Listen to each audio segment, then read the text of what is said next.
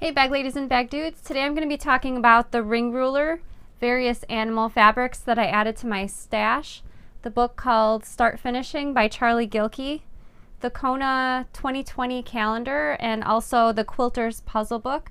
I'll be demonstrating how to sew zipper tabs so that they look nice in your finished bag or pouch, and there's a great giveaway at the end. I'm Sarah Lawson from Sew Sweetness. Thanks so much for joining me for Sewcial Sunday, my weekly sewing channel.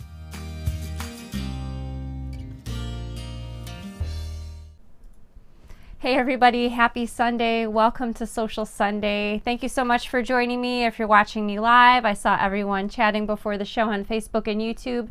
And if you watch our show later on in, in the week, the recording either on Facebook or YouTube, thank you so much for tuning in to watch our show. I see Kathy's watching from New Hampshire, Medea from Hungary, Sheila from Tekla, Texas. So thank you everyone for watching. Um, I had some concerned questions regarding uh, my finger this past week. I posted earlier in the week on Facebook that um, it finally happened. I finally sewed through my finger. Um, I, I, I don't recall exactly what happened. I feel like my mind kind of glossed over. Charlie says, Sarah, hold up your hands, please. We need to count fingers. So I actually have two finger stories for this week. And my second finger story happened like 10 minutes ago. So the first finger story is I was sewing, um, I was basting fabric to interfacing, and the needle went through my finger, not through my nail, just through my finger, and it came out the other side. And because I have a straight stitch only machine, uh, the hole for my needle is really small. It's not a bigger rectangular area, it's a small hole. And so, as I don't mean to gross anyone out, but as the needle went through my finger, it kind of bent to the side slightly and it hit my uh, metal plate on my sewing machine and it broke in half while it, was, while it was in my finger as it hit the bed. And so I had two halves of the needle in my finger. I was able to pull one half out off the top. The other half, uh, which was uh, the pointy part of the needle where the thread goes through near that area, that part was kind of slippery in my fingers. I wasn't able to pull it out. So I had to wake Danny up. Danny was sleeping and uh, so he groggily got out of bed.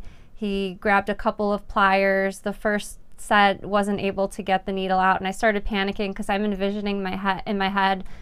We're driving to the hospital, and I have this needle sticking out of my finger, and whatever. It wasn't very pleasant to look at. I started to freak out, but thankfully, the second set of pliers, he was able on the second try to pull the other half of the needle out. So um, I did go to the doctor that same day because some people in the Facebook group suggested an x-ray might be a good idea just to make sure there was no metal left behind. I did get a tetanus shot last year, so I was covered in that area. Actually, the day after the, the accident, my it was my right pinky. Uh, the pinky felt pretty good, like it didn't feel bruised or that all that tender to the touch, so I guess I was lucky in that regard. Um, the second finger accident happened about 10 minutes before the show.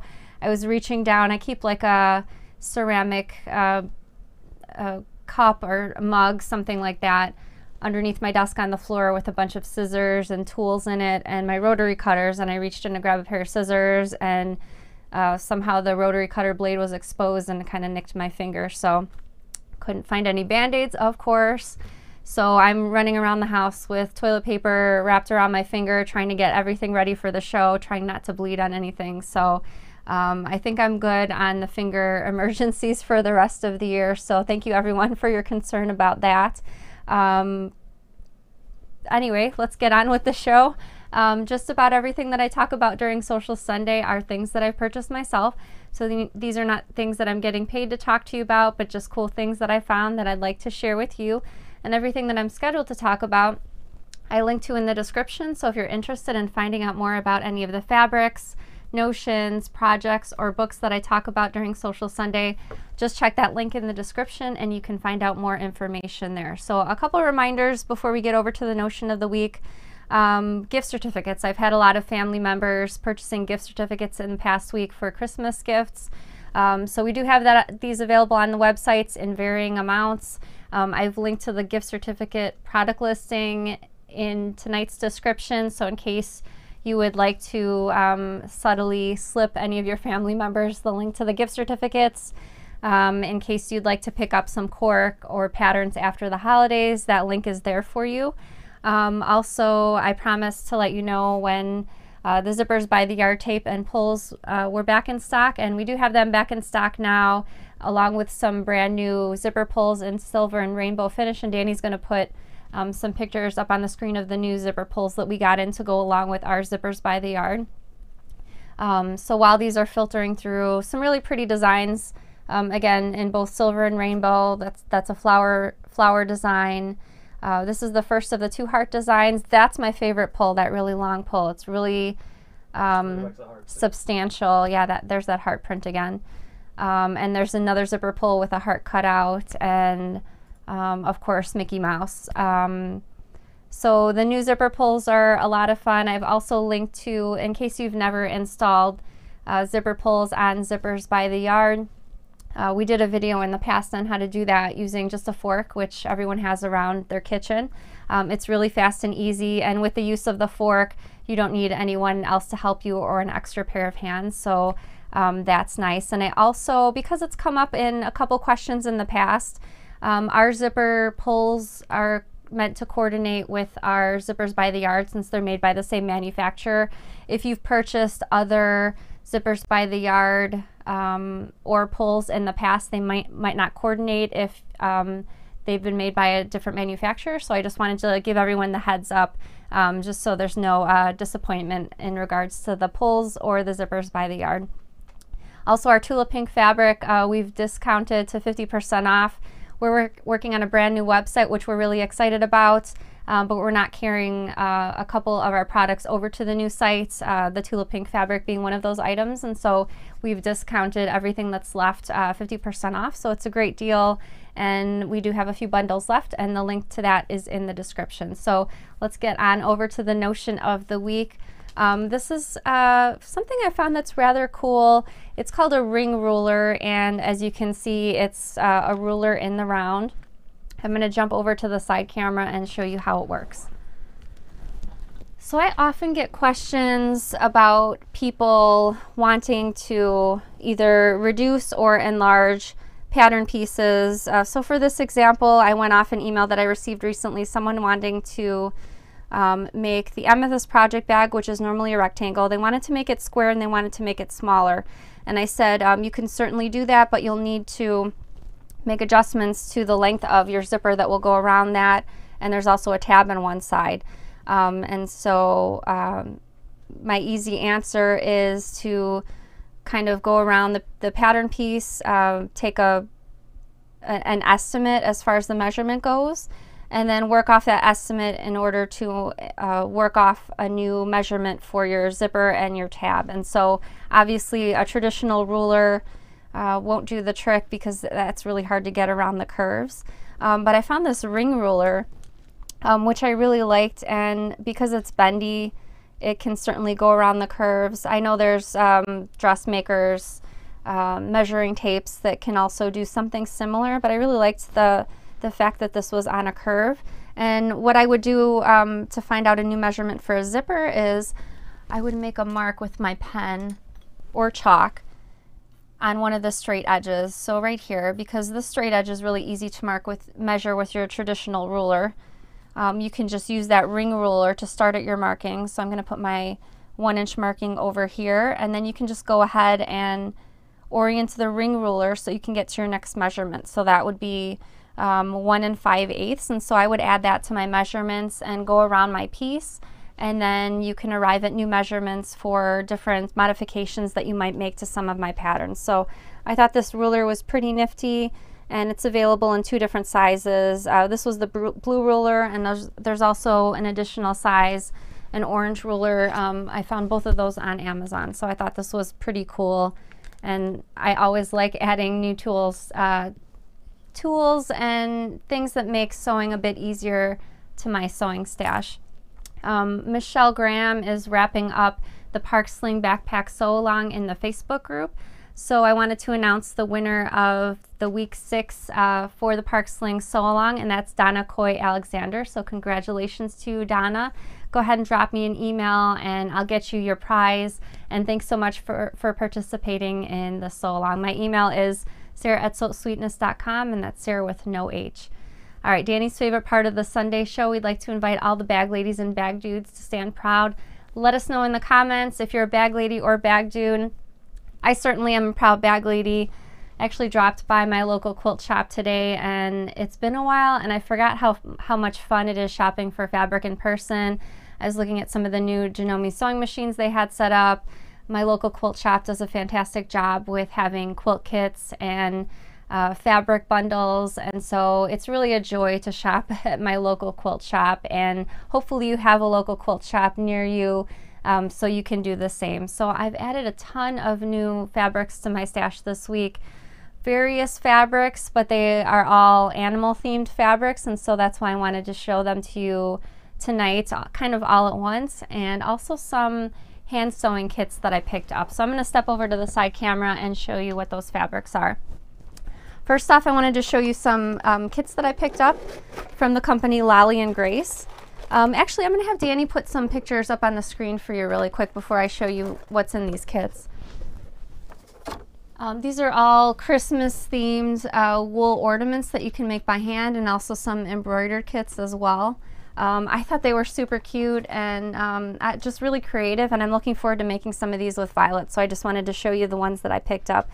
So what's included in the kits is the floss, thread, needle, wool, everything you need. Um, the pattern pieces, they're already transferred. And um, I, I just thought they were really darling and kind of remind me of vintage style ornaments. So I picked up this um, ice skate too. Again, everything's included inside. The snowman I really liked. And last two kits, the Santa and the polar bear. So again, looking forward to stitching these with Violet. They look pretty, not too time consuming for the kits.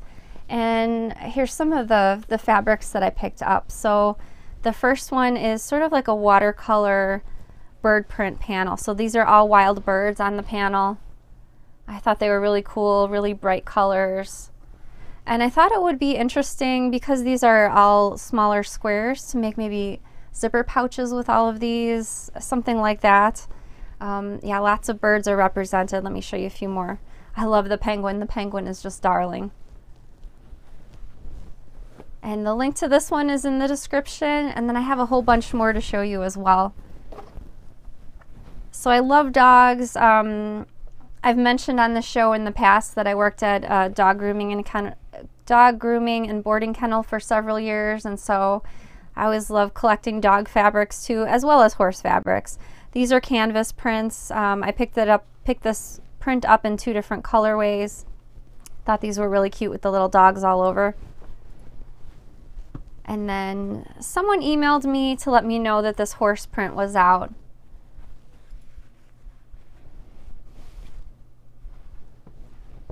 And not to let, let down the cat people, these are really great cat digital prints.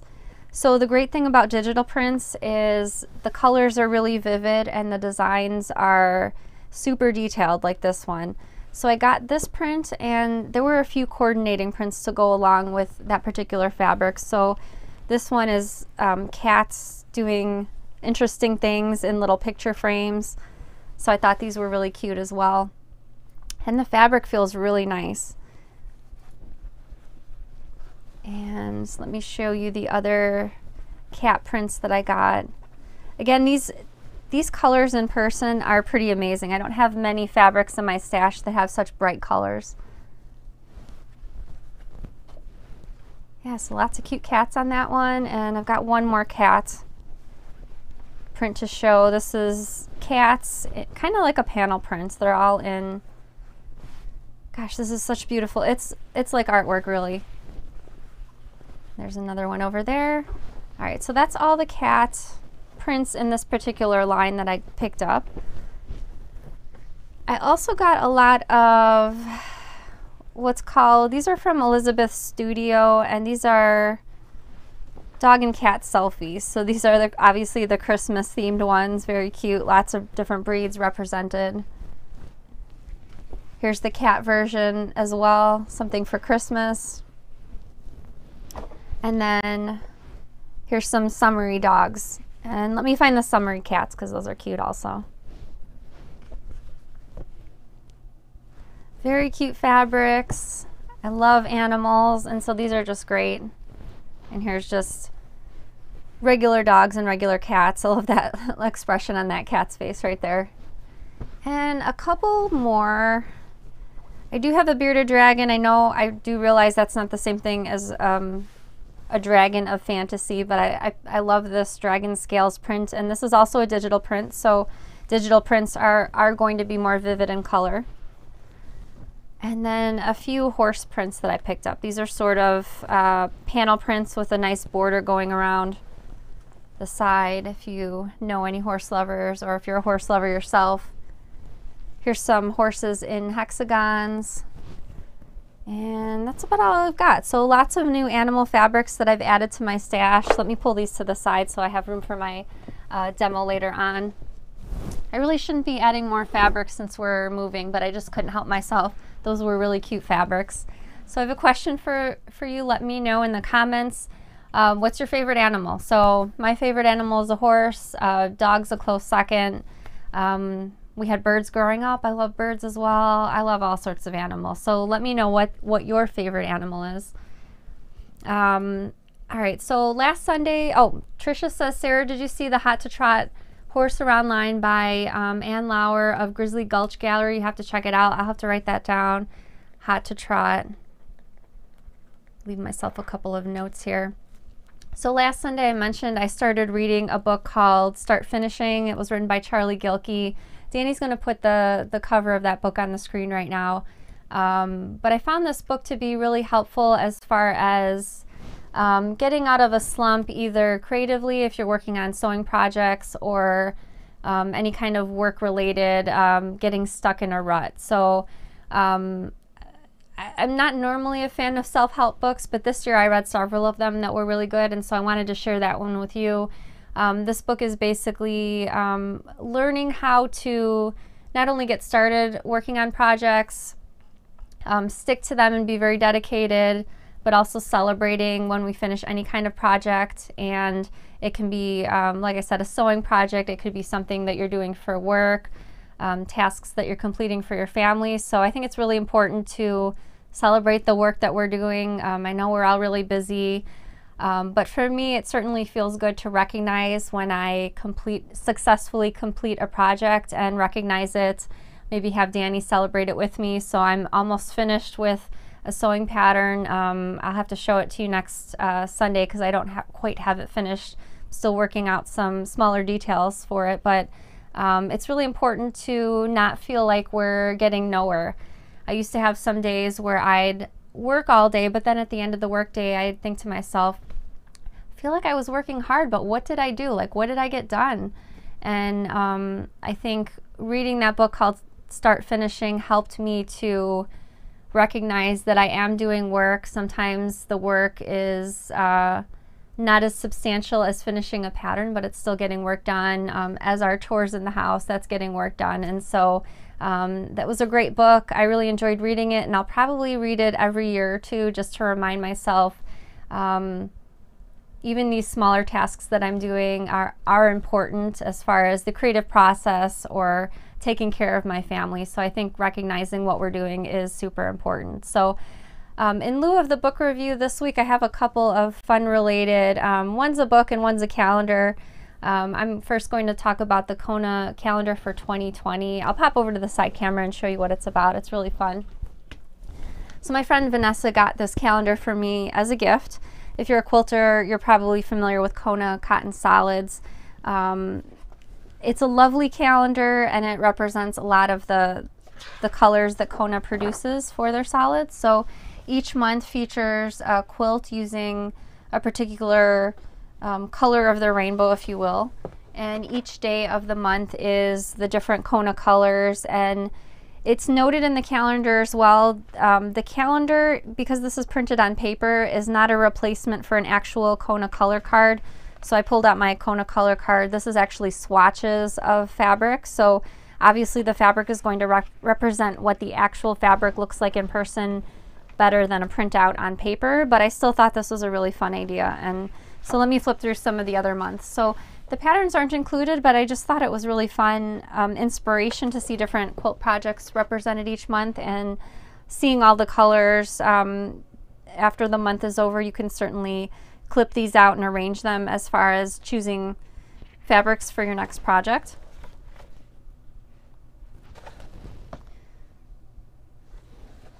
And I know I certainly do need a new calendar for 2020. It's coming up much faster than I thought it would. I can't believe Christmas is almost here as well.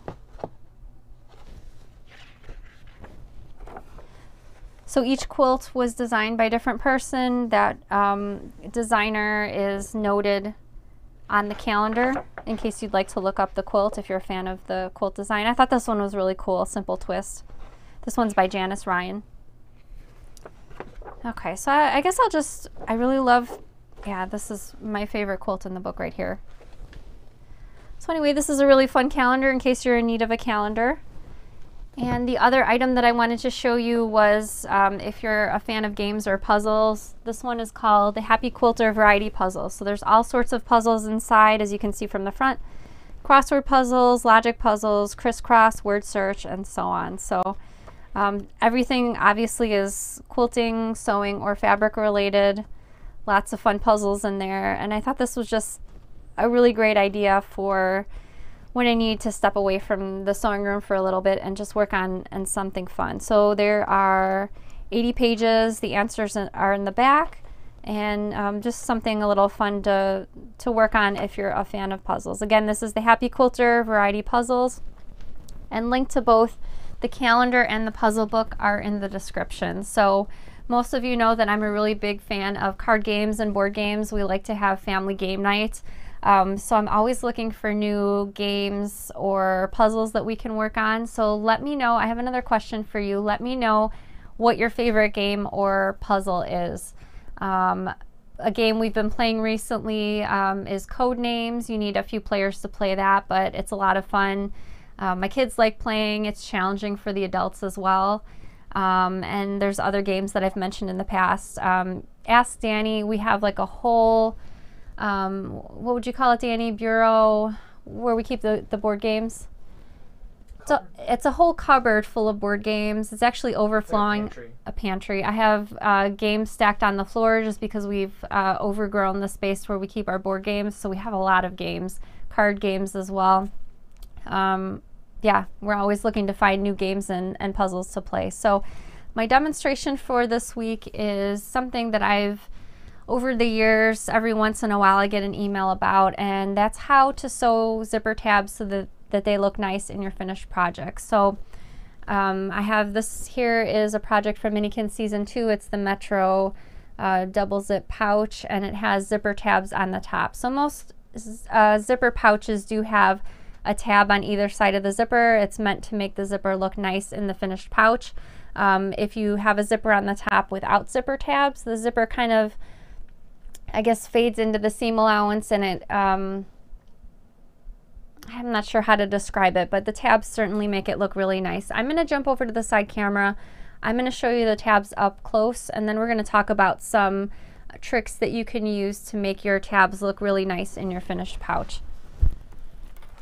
Okay, so I've got my all my sample pieces over here. So I'm going to have Danny zoom in really quick so you can see, and then I'm going to shift that over. See how that zipper tab is really nice and rounded from the side at the top. It looks really crisp and clean as well. It's not getting cut off or getting sucked into the seam allowance. So let's talk about, um, before we talk about how to navigate through sewing so that it looks nice. I'm going to put a few pictures on the screen. Um, some viewers sent me some problem areas that they found uh, when they were sewing their zipper tabs in place. So yeah, Danny's going to put these pictures on the screen. See in this orange pouch how the tab is kind of getting sucked into the, the seam allowance. It's not a nice rounded tab. Um, that's one example. This one right here, I recognize that vinyl is a bit thicker to sew with, but again, the, the tab is kind of getting sucked in um, to that side seam in this brown pouch. Another example, this red pouch, again, um, the fabric in the tab is sort of getting sucked into the side seam. And then I have one more picture. Sometimes you'll not be able to catch the tab or it'll end up leaving raw edges or actually a hole at the top edge of your finished pouch. So we want to avoid all of these um, areas and make the tab look nice. So what I did was I prepared, uh, I guess, a little sample of a zipper pouch. So I sewed my zipper to my exterior fabrics and to my lining fabrics. I like to work with a zipper that's about three quarters of an inch shorter than the top edge of the fabric. So as you can see, there's a gap on either side of the tab. It's not as long as the green fabric and that's um, on purpose so that we can sew the side seams without sewing that tab fabric. So when finishing the pouch, we're usually sewing the exterior fabrics right sides together and also the lining fabrics right sides together. So I'm going to go ahead and flip my exterior so that it's right sides together and lining so that it's right sides together. So here's my lining fabric out here. We're going to start with the exterior fabric. So I'm going to go ahead and use some wonder clips to pin that in place. And you'll notice that at this top edge over here where the tab ends, so the pink fabric is my tab, you have the ends of the exterior fabric and this is sort of uh, a flap over here. So when you sew this area, you want to be sewing with this fabric pushed down like this. I've had times in the past where I've been sewing this area and the fabric kind of gets bunched up under the needle or push, pushed out of the way and it ends up being not pushed down like it should be like this. So if you find that problem happening to you, you can certainly go ahead and use, um, I like using this Fons and Porter, it's a fabric glue marker, basically a, a small glue stick. You can also use any washable glue stick here. So I'm just going to go ahead and put some glue over here. You'll want to set that with a hot dry iron and that glue will hold that fabric down and you'll do the same thing on the other side as well. It's really helpful because then you'll have one less thing to worry about your fabric shifting and then you can just concentrate on getting a nice stitch down your side area. Okay, so now that that's glued in place, I'm going to go ahead and finish pinning the side and you can go ahead and put a wonder clip over here.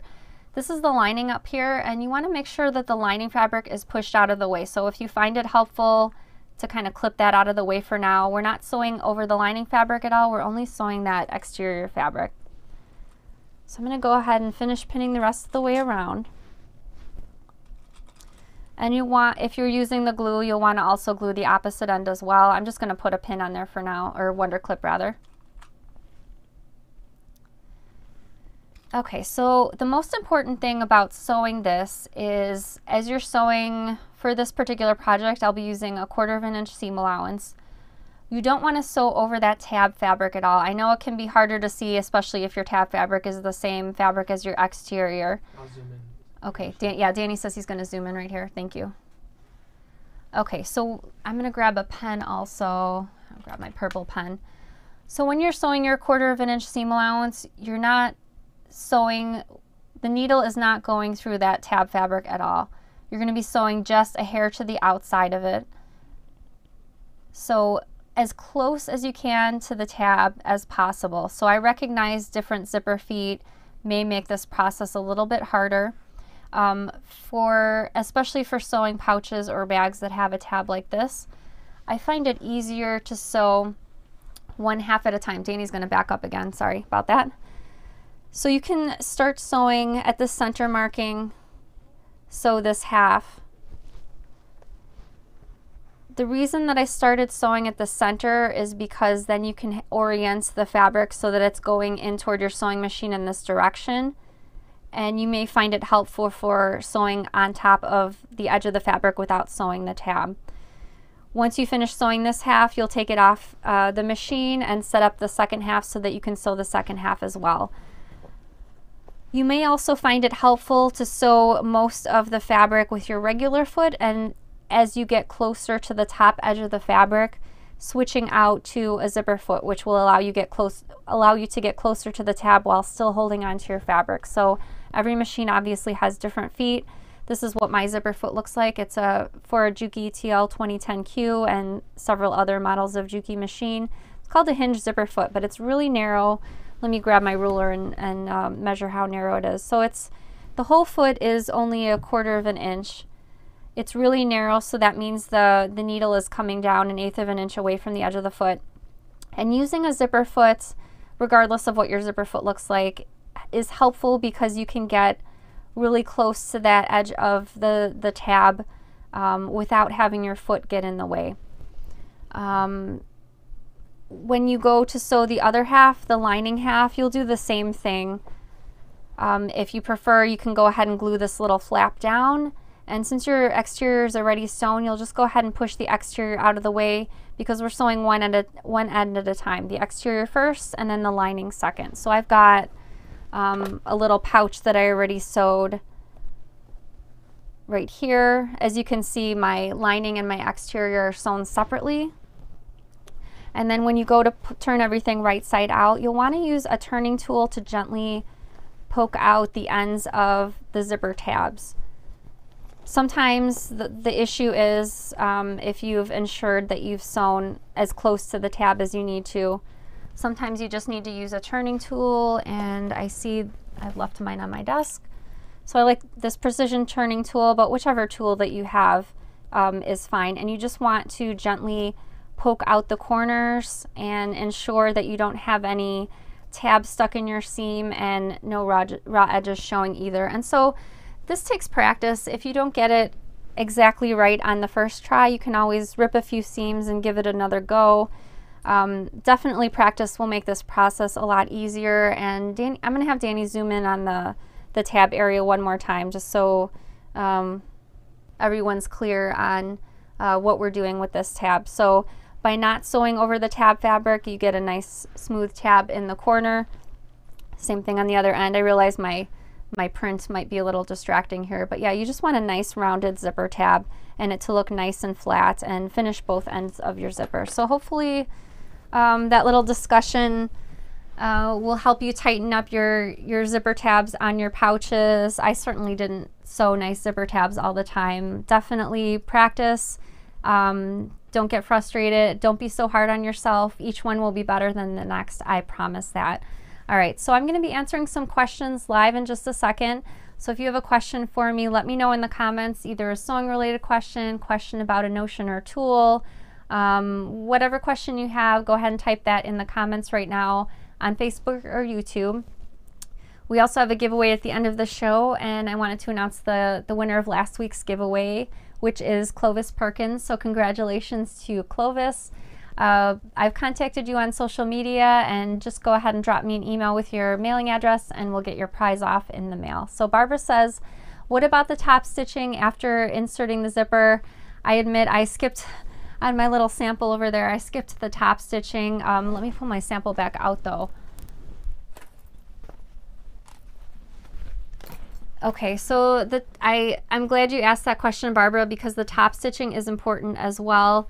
If you top stitch um, your exterior and lining fabrics all the way to the edge of the fabric, you won't be able to separate your exterior and lining fabrics. And so I find it helpful to end the top stitching with the zipper tabs. So if I had done the top stitching, I would have started the top stitching with the edge of this pink zipper tab and sewing across to the other end of the other pink zipper tab, not from one end of the fabric to the other. The reason for that is you need to have the, the corners loose so that when you're sewing your exterior and lining fabrics right sides together, you have those edges free on the sides so that you can get up into the corners there and sew directly to the, the outside of those tabs. B says, would you use a zipper tab on the cotton candy in lieu of veering the one end? So that's a great question. I do have a cotton candy pouch right here. Let me explain why I didn't use zipper tabs on this particular project. So for the cotton candy pouch, um, it actually opens wide and there's a zipper tail. So the reason that I designed this particular project with uh, a little zipper tail that hangs off to the side is I wanted the top stitching to be really easy.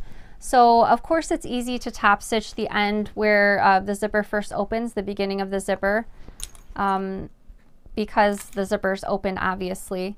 Um, but I found that having a tab on the opposite end rather than a tail makes it so that you can't open this end flat and get a nice top stitch. So if there was a tab on this end, you'd have to navigate having the end kind of pinched in together and that might be make it difficult for top stitching. Um, it is possible to have a tab on this particular project. You might just need to stop your top stitching um, maybe an inch away from the, the corner of the pouch just because uh, it's going to get really difficult to navigate that if you can't have it nice and flat, which is um, I guess the purpose of anytime I have a little tail hanging off a pouch or a bag, um, it is definitely to make the top stitching easier. Um, also, some people like to have a little uh, tab to hold on to when they open and close the zipper. Shannon says, Sara, will you be stocking zippers with gunmetal color teeth? Um, my honest answer is I'm not sure yet. Uh, a couple months ago, I ran a poll in my Facebook group asking what types of finishes people were looking for um, in regards to the zippers by the yard. Um, some of the other finishes like gunmetal or rose gold were not as popular as the rainbow or silver. Um, so I'm looking into that in the future, but I guess I don't have an answer for that yet. Um, we do have some number three zippers by the yard on order in the rainbow finishes. So we'll start with those and then we'll see um, before we add additional uh, finishes for the zippers. Donna says, how do you get the side seam done correctly on the dumpling pouch? Um,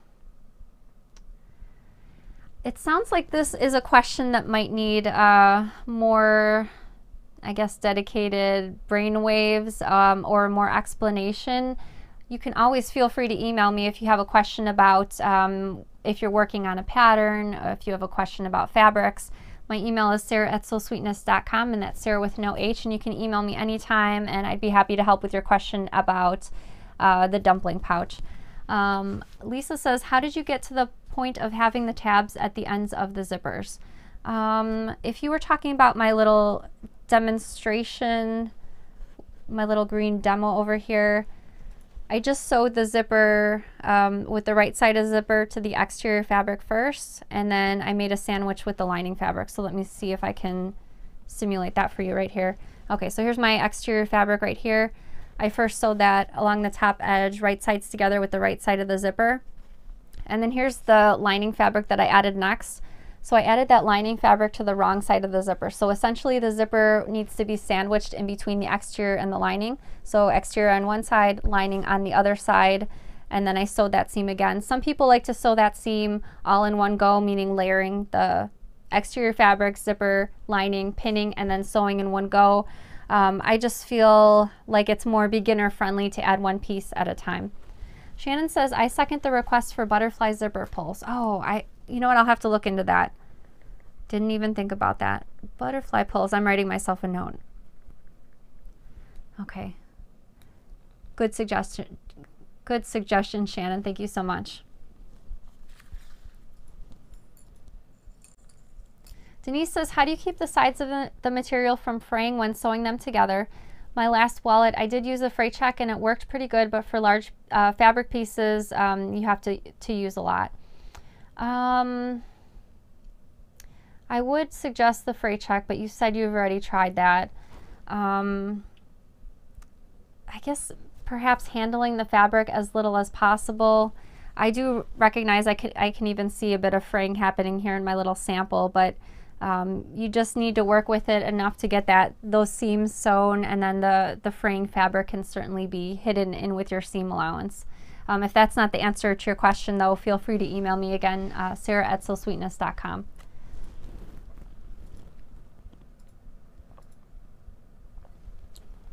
Margaret says, do you have a project for all the leftover zipper remains you get from cutting zippers down? It seems like such a waste, although it is easier when installing a zipper to use one that's longer. I definitely concur with that. I always like using a zipper that's longer so that I can measure um, in the center of the zipper, especially if I'm trimming it down so that I can eliminate uh, the metal zipper stops on either end of the zipper. I have seen people make um, little decorative zipper pulls with uh, zipper remains, but I haven't made one myself, so I'm going to write a note to myself for that one as well um, zipper tape, zipper pulls. Maybe we can talk about that on a future episode of Sewcial Sunday. All right, Terry says, Hi Sara, do you have any pattern that has a zipper going across the top and down the side with a gusset? Also, would you consider designing a bag with a circular handle in metal or wood? So I've always been intrigued um, when I see those bags with the, usually it's a, a rounded handle made of wood, usually a pair of handles. Um, I just wasn't sure. I don't know. I like the style of that bag. I wasn't sure how other people felt about it, so I guess I, that's why I let that idea set for a while, but it sounds like you like those bags as well. Um, I'm going to write myself a note. Uh, what was the first half of Terry's question, though? I didn't answer the first half. Well, Sara, start focusing on answering quickly. have to find it. Okay. Uh, we'll get back to the second, uh, the first half of your question, Terry. Sorry about that. Denise says, if you use pinking shears on the fabric to stop fabric from fraying while sewing, will it mess mess up the measurements? That's a great question. Um, let me answer Denise's question, then I'll get back to Terry's. So leave Terry's on the screen, Danny. Hi, Captain. Um, that's a tough question. So I have a lot of charm packs. Um, I think I have some on the shelf behind me.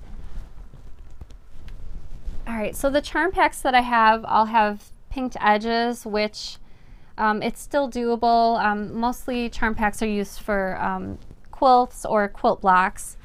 So because these are these edges are pin, pin pinked, um, they take a little bit more attention to making sure that you're lining up your seam, seam allowance to the edge of the fabric. So it definitely is possible to do that with your bag.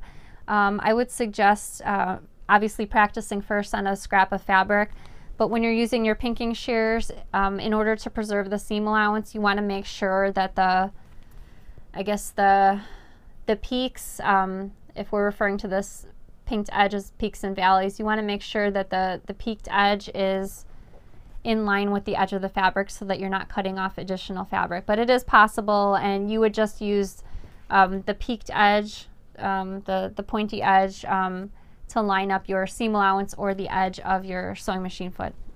Okay, so the getting back to the first half of Terry's question, do you have any pattern that has a zipper going across the top and down the side? um, with a gusset. So I'm assuming you're looking for something, the zipper continuing down the side of the bag or pouch. So if that's the question, I don't currently have a bag exactly like that. I do have a backpack from my second book called the uh, the Shades backpack that does have a like a zippered flap. It kind of comes across the top down. So I guess it's it would be sort of three edges. So not exactly what you're looking for. Um, I also like to see, sometimes when people have suggestions, they have a specific bag in mind. Maybe they saw it online um, or in a magazine, something like that. Um, I do like to look at photos for inspiration. So if you're looking for a particular bag, feel free to send me a photo. Sometimes it's easier to see a photographic example um, rather than a description. But if you feel like doing that, um, you can certainly email me photos anytime. Shannon says, have you ever quilted cork for a project? If so, do we need a special thread weight? And I love your cork. Thank you so much for the compliment, Shannon. Um, I don't think I've ever finished an actual project using quilted cork. I have quilted cork in the past though.